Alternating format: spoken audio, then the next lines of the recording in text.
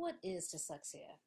Although most people think dyslexia is just a problem with reading and spelling, dyslexic minds share all kinds of things in common, like strengths. Dyslexic minds are great minds. Kids and adults with dyslexia often have really great ideas, can work well in teams, figure out difficult problems, and discover creative solutions. Some of the most amazing people in the world are dyslexic. Some of the coolest buildings of all time were created by dyslexic architects. Dyslexic scientists saved millions of lives with their discovery. Dyslexic filmmakers have made lots of Academy Award winning movies. Dyslexic entrepreneurs built famous businesses.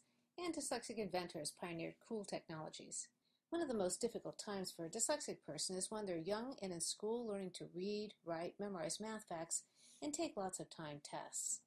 School can be tough, but dyslexic minds really do have advantages, and dyslexic people can often see and understand in ways other people find hard. Recently, scientists have discovered patterns of strength among dyslexic people that we call mind strengths.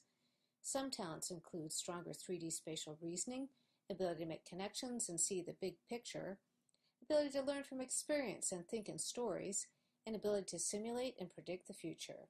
If you'd like to learn more about us, visit our website or check us out on Facebook, Twitter, and Pinterest. You can also subscribe to our YouTube channel.